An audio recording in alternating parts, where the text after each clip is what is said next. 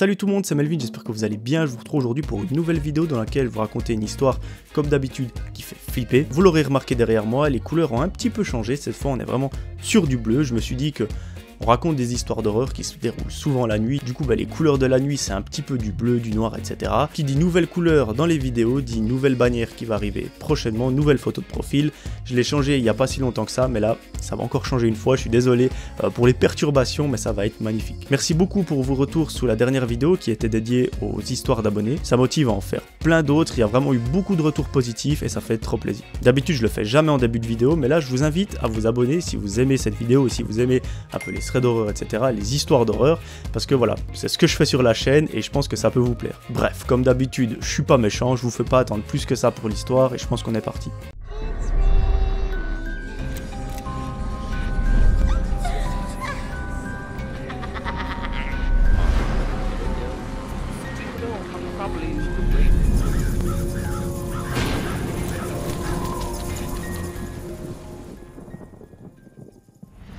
Aujourd'hui, mes amis, c'est l'histoire d'Ariane. Au moment des faits, Ariane habite en Australie et elle a 24 ans. Là-bas, elle étudie dans une université tout ce qui est en lien avec la nutrition. Plus tard, elle aimerait bien travailler là-dedans, avoir sa propre entreprise et être un peu son propre patron. Elle nous dit que ses études, franchement, elle les adore. L'endroit est juste trop cool pour étudier, elle s'est fait plein d'amis et franchement, les cours sont super intéressants. Donc, De mieux pour des études Contrairement aux autres histoires que j'ai l'habitude de raconter sur la chaîne, cette fois-ci ça se passe pas en hiver mais en été. On est quelques jours avant la fin de l'année scolaire et dans trois jours c'est le dernier examen. La session d'examen d'Ariane s'est très bien passée et elle a franchement pas envie de louper le dernier examen parce que ça peut lui faire redoubler l'année elle en a juste pas envie. Du coup, bah, elle est dans son campus, dans sa chambre d'étudiante, et elle tryharde à mort les examens. Elle révise tout ce qu'elle peut vraiment, elle ouvre plein de livres, elle se renseigne, elle se documente pour ne pas louper le dernier. Ce jour-là, on est mercredi et demain, elle a l'avant-dernier examen. Du coup, pendant la journée, elle décide de se voir avec des amis qui sont dans sa classe pour pouvoir étudier ensemble. Ses amis viennent dans sa chambre d'étudiante et elle commence à réviser. Entre quelques révisions, elles font une ou deux pauses, elles mangent un truc et elle continue vraiment tout l'après-midi. Arrivée vers la fin de journée, vers 17h-18h, les filles rentrent chez elles tandis que Ariane reste dans sa chambre. Elle commence à cuisiner son repas du soir, elle le mange et après ça, au lieu de regarder une série Netflix, elle décide de continuer à réviser encore un petit coup. Le lendemain matin, elle se rend à l'université, elle nous raconte que l'examen c'est plutôt bien passé, là, quelques petites erreurs par-ci par-là, mais que globalement, elle le sent bien. Elle rentre chez elle, elle continue de réviser pour le dernier examen qui aura lieu après-demain, et c'est en gros la même journée. Elle révise, elle se fait à manger, elle révise avant d'aller au lit, et dodo. Le lendemain, elle n'a pas d'examen, c'est un jour un petit peu libre, mais vu que demain, c'est le dernier examen, bah, c'est libre, mais pas forcément. C'est vraiment révision, révision, révision à fond. C'est la dernière ligne droite avant la fin des examens. C'est un peu la période que chaque étudiant dans ce monde attend, c'est la fin des examens au bout de une ou deux semaines. Comme ça, t'es libre. À la fin de la journée, elle se fait à manger, elle va au lit et arrive le lendemain. Aujourd'hui, c'est le dernier examen. C'est celui qu'elle redoute le plus, ça concerne les maths. Elle se lève à 6 heures, elle prend un petit déjeuner, fait son sac et part confiante à l'université. Là-bas, elle fait son examen, elle nous raconte que nouveau, c'est un petit peu bancal, mais ça devrait passer, et elle rentre dans sa chambre d'étudiante. Là, elle ressent une sensation de délivrance, vraiment comme moi je ressens à la fin de mes examens, comme vous je pense vous ressentez à la fin des vôtres. C'est juste on est libre, on sait pas trop quoi faire parce qu'on est un petit peu perdu, on est là ouais je, suis enfin libre, je peux faire quelque chose d'autre que de réviser. Et du coup la première chose qu'elle fait c'est d'envoyer un message à ses amis de classe pour voir comment ça s'est passé un petit peu parce qu'elle les a pas vus à la fin de l'examen. Une des amies répond bah, que ça s'est très bien passé et elle lui propose de venir dans sa chambre d'étudiante. Du coup Ariane accepte et les amis se retrouvent l'après-midi dans la chambre d'étudiante d'Ariane. Là le groupe de filles discute un petit peu de ce qu'elle peut faire ce soir parce qu'elles ont vraiment envie de fêter la fin des examens, c'est vraiment la grosse stuff. Elles ont juste envie de souffler un peu. Une des filles présentes dans la chambre d'étudiante à ce moment-là voit sur Facebook qu'il y a une fête qui est organisée le soir dans leur ville. Alors c'est pas une fête comme on a l'habitude de voir tous les jours, c'est en gros une soirée où on doit aller avec un déguisement en lien avec les jeux vidéo. Ça tombe super bien, le groupe de filles est passionné par les jeux vidéo, elles jouent à plein de jeux et du coup c'est l'occasion rêvée de pouvoir souffler après les examens et de profiter un petit peu. Elles décident de s'y rendre et malheureusement elles n'ont pas de costume, du coup cet après-midi c'est shopping. Elles se rendent dans le centre commercial le plus proche et elles font plein plein plein de boutiques pour trouver le meilleur déguisement possible. C'est pas évident de trouver des déguisements avec les jeux vidéo, mais à la fin de la journée, elles ont chacune trouvé leur déguisement. Elles rentrent dans la chambre d'étudiante d'Ariane pour se préparer, pour se faire belle pour la soirée. Arrivée 20h, elles décident de prendre un taxi et de se rendre à la soirée. Là-bas, l'ambiance est vraiment festive, c'est vraiment trop bien. Il y a plein d'étudiants qui viennent de terminer les examens, du coup c'est la grosse noce, tout le monde est dans la même ambiance et c'est tout simplement trop cool. Elle nous raconte qu'il doit y avoir entre 150 et 200 personnes, vraiment c'est bondé, il y a vraiment du monde partout, mais c'est ce qu'elle adore, c'est vraiment l'ambiance étudiante qu'elle aime, elle est tout simplement trop contente d'avoir fini ses examens. Le groupe d'amis fait la noce jusqu'à quelques heures du matin, malheureusement à la fin de la soirée, Ariane remarque que l'une de ses chaussures est complètement cassée. C'était des chaussures assez bas de gamme, pas très solides, et là elle est tout simplement inutilisable. Mais bon, c'est pas grave, elle enlève ses chaussures et elle marche à pieds nus jusqu'à la sortie de la fête. Là, elle et ses amis discutent quant à comment elles vont rentrer dans leur chambre d'étudiante parce que elles ont déboursé une, comme une petite somme euh, dans un taxi à l'aller et elles n'ont pas forcément envie de se ruiner avec ça. Du coup, le moyen classique, c'est les transports publics. Elle nous raconte que dans la ville, il y a des transports qui sont organisés exprès pour les étudiants qui, euh, quelques heures du matin, rentrent chez eux et du coup, euh, c'est plutôt safe. Ses amies, elles, vont quelques arrêts plus loin parce qu'elles sont pas dans la même résidence étudiante. Et du coup, ben, Ariane s'arrête à son arrêt et il lui reste quelques mètres à faire pour aller chez elle. Enfin, quand je dis quelques mètres, c'est quelques minutes plutôt. Elle arrive dans la rue et évidemment, il fait tout noir. On est au beau milieu de la nuit, bien que ce soit l'été, les nuits sont un petit peu plus claires il fait tout simplement tout noir et on voit que dalle. Ariane commence à marcher en direction de sa résidence pour pouvoir rentrer chez elle. Elle nous raconte qu'au bout de quelques mètres, le trottoir commence à lui faire super mal aux pieds. C'est un trottoir où il y a ces sortes de cailloux, enfin ça lui rentre dans le pied, c'est vraiment super désagréable. Et du coup, ce qu'elle fait, c'est que pour ne pas avoir mal aux pieds, elle marche un tout petit peu sur la route. La route est lisse, ça lui fait bien moins mal et c'est beaucoup plus agréable. Elle marche donc sur le bord de la route et au bout de quelques minutes, elle remarque une personne en face d'elle. Cette personne-là est sur le même trottoir entre guillemets, parce qu'elle est juste à côté, mais elle marche dans la direction opposée. Donc, dans quelques mètres, ils vont se croiser. Elle arrive gentiment à distinguer les habits que porte cette personne. C'est une casquette rouge, une salopette bleue.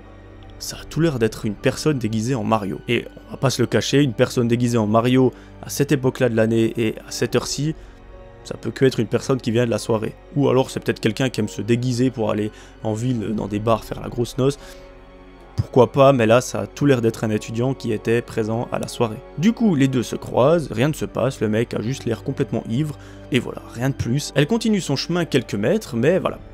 Son instinct lui dit quand même, retourne-toi voir ce qui se passe. T'es seul dans la rue avec ce mec, on est en plein milieu de la nuit, voilà, juste regarde ce qui se passe. Jette un petit coup d'œil derrière toi juste pour voir euh, ce qu'il en est. Ariane s'exécute, elle se tourne et elle voit que le mec est quelques dizaines, presque une centaine de mètres derrière elle, il fait demi-tour et commence à marcher en sa direction. Alors là, Ariane, elle a une théorie, c'est que cette personne est tellement ivre qu'elle essaye de marcher, de faire des rondes pour un peu évacuer l'alcool. Ça tient la route, pourquoi pas, mais malheureusement c'est pas le cas.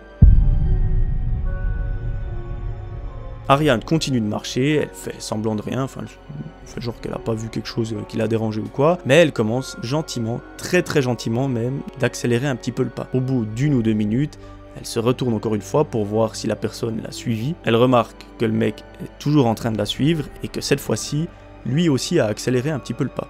Là, ça commence un petit peu à devenir bizarre parce qu'en principe, quand on ne suit pas quelqu'un, on marche pas à la même vitesse qu'elle, surtout quand elle accélère volontairement.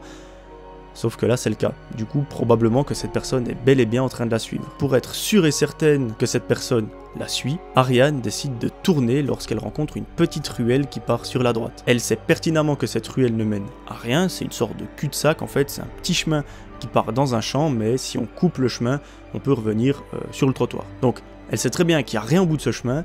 Si la personne tourne là, c'est que c'est forcément quelqu'un qui la suit. Du coup, elle arrive à cette intersection, elle tourne à droite et va se cacher au bout du chemin. Au bout de quelques secondes qui lui paraissent être une éternité, elle voit la personne qui marche sur le trottoir, qui tourne à droite et qui est maintenant dans le chemin. Là, Ariane, elle est sûre, elle est fixée, cette personne est bel et bien en train de la suivre. Donc il faut agir en conséquence. Ariane ressent un petit peu la force du Saint Bolt monter en elle, elle tape son meilleur sprint jusqu'au trottoir afin de courir le plus vite possible jusqu'à sa résidence. Elle se dit, vu que c'est la fin des examens, il y aura forcément des étudiants qui seront dehors, qui seront en train de fêter, du coup, bah, elle sera pas seule et elle sera un petit peu protégée. Elle tape un sprint jusqu'au trottoir et elle continue sa course. Sans surprise, le mec fait de même et il essaye de la rattraper. Là, de nouveau, je vais vous faire un superbe dessin avec mes talents de dessinateur, mais en gros, elle continue de courir et elle prend la ruelle qui l'amène devant chez elle. Elle fait très vite le code de la résidence, ouvre la porte et la referme immédiatement. Elle monte courant dans sa chambre afin d'être en sécurité, que la personne ne la voit pas parce que c'est une porte qui a une espèce de petite vitre. Du coup, si on regarde, on voit qui est dans le hall d'entrée. Du coup, Ariane décide de ne pas rester là, elle monte et va se cacher. Arrivée dans sa chambre, elle s'éclaire avec la lumière de son téléphone. Elle allume pas les lumières de l'appartement, enfin de la chambre d'étudiante, pour ne pas que la personne soit dehors et regarde les fenêtres pour voir où ça s'allume. Parce que s'il voit que ça s'allume à un endroit, ben c'est que c'est très probablement euh, la fille qui vient de suivre. Elle se met dans son lit, elle est vraiment tétanisée, elle sait pas qui est ce mec, elle sait pas ce qu'il voulait, c'est trop bizarre. Le mec avait l'air en plus d'être dans un état complètement euh, pas normal et du coup ben, ça lui a vraiment fait flipper. Là le premier réflexe c'est qu'elle envoie un message à ses amis pour voir si elles sont bien rentrées, si elles ont pas croisé un mec chelou comme elle. Elles répondent qu'elles sont très bien rentrées sans souci et là Ariane décide de leur raconter ce qui vient de se passer. Lui disent c'est trop bizarre, on vient d'avoir des potes qui nous ont écrit qu'ils ont justement rencontré ce même mec que tu nous décris avec un espèce de déguisement de Mario, sauf que ça s'est un petit peu moins bien passé. En fait, c'était deux jeunes garçons qui l'ont rencontré en rentrant de la soirée, et justement le mec les a agressés, il leur a couru après avec un couteau à la main, et il a réussi à en attraper un et lui mettre un coup de couteau. Une fois l'agression effectuée, le mec déguisé en Mario est parti en courant et a laissé le couteau sur place. C'est une très grosse erreur, vous allez voir pourquoi. Heureusement pour le garçon qui a été agressé, l'ambulance est arrivée. Très rapidement, il a pu être pris en charge à l'hôpital et il a probablement évité la mort. Du coup, au moment où l'histoire se passe, les deux garçons sont à l'hôpital et l'un d'entre eux est en soins intensifs. Il est hors de danger, mais voilà, ça va prendre un petit peu de temps à ce qu'il se remette sur pied. Là, pas besoin de vous dire qu'Ariane est encore plus flippée parce qu'il se dit ce mec est super dangereux, c'est pas juste un mec chelou qui me suit, c'est un mec qui voulait m'agresser. Donc elle est vachement contente d'être dans sa résidence, mais elle a toujours peur que voilà, il soit autour, qu'il attende qu'elle sorte le lendemain ou je ne sais quoi, c'est tout à fait normal de penser ça, mais du coup, elle décide d'appeler la police. Une fois un agent au téléphone, elle lui raconte ce qui s'est passé, et l'agent lui répond que ils sont au courant de cette histoire, que plusieurs personnes les ont appelés justement suite euh, à l'agression qu'ont vécu les deux jeunes garçons, qu'ils ont retrouvé un couteau sur place, sur le lieu de l'agression, et que heureusement, ce couteau n'a pas été porté avec des gants, mais euh, par une personne normale, sans gants, avec sa main, et que du coup il y a des empreintes. Ils vont mener une enquête, mener des analyses et ils sont très optimistes quant aux chances de retrouver l'agresseur. Ariane se couche mais elle n'arrive pas à dormir, ce qui est tout à fait normal. Ses amis lui proposent gentiment de rester au téléphone avec elle toute la nuit, le temps qu'il faudra pour qu'elle se sente moins seule et qu'elle se sente en sécurité. C'est des amis en or et du coup Ariane passe la nuit au téléphone dans son lit avec ses amis. Le lendemain, elle apprend que la police a retrouvé l'agresseur, c'était bel et bien la personne déguisée en Mario. C'était effectivement un jeune qui était présent à cette soirée, sauf que ce mec a un passé un peu compliqué. En gros, il était à la soirée, sans potes, sans personne, et il observait juste des personnes qu'il voulait agresser. En fait, ce gars, il est connu pour poster des messages très haineux sur les réseaux sociaux. Il y a quelques mois de ça, il avait mis un message comme quoi un jour il serait déguisé en Mario et qu'il frapperait quelqu'un. Sauf qu'il n'avait pas précisé que ça serait avec un couteau. Malheureusement, les policiers ou les modérateurs du réseau social n'ont pas pu euh, anticiper ces gestes, ils n'ont pas euh, vu cette publication. Ça aurait pu quand même euh, grandement faciliter les choses et surtout éviter qu'une personne se fasse poignarder. Mais bref, durant la journée, les policiers ont fait une descente chez lui, ils l'ont attrapé, menotté, et il sera jugé prochainement. Quelques mois plus tard, on apprend qu'il a été condamné à de la prison, on ne sait pas combien, mais je pense quand même un sacré moment. L'essentiel, c'est que Ariane n'ait rien, et que surtout le mec qui a été poignardé n'ait rien non plus, et qu'il soit sorti d'affaires et qu'il puisse enfin revivre normalement. Ariane nous raconte quand même que elle a eu des nouvelles de ce type, parce que c'est quelqu'un qu'elle voyait à peu près euh, qui c'était, c'était pas forcément son ami, mais c'est l'ami d'un ami, etc. Et que voilà, cette personne va bien, elle garde quand même des petites séquelles psychologiques, parce que voilà, se faire agresser comme ça, euh, c'est juste terrible, mais que cette personne arrive à revivre normalement. En tout cas, ça se finit plutôt bien, et de nouveau, suivez votre instinct, parce que si l'instinct d'Ariane ne lui avait pas dit tourne-toi pour voir ce que fait ce mec derrière toi et mets-toi à courir, on ne sait pas du tout ce qu'elle serait devenue. Voilà, c'est la fin de cette vidéo, j'espère qu'elle vous aura plu. En tout cas, si c'est le cas, dites-le moi dans les commentaires. Je vous invite à réagir dans les commentaires, ça me fait trop plaisir de les lire et de vous répondre. C'est promis, je réponds à tout le monde sans exception. Je me permets de vous le rappeler, si vous avez aimé cette histoire, n'hésitez pas à vous abonner, à activer la cloche si vous le souhaitez, ça me ferait trop plaisir de vous compter parmi ma communauté. Voilà, je crois que je vous ai tout dit, moi je vous promets de vous retrouver très vite pour une nouvelle vidéo, d'ici là j'aimerais que vous preniez soin de vous, c'était Melvin, ciao tout le monde.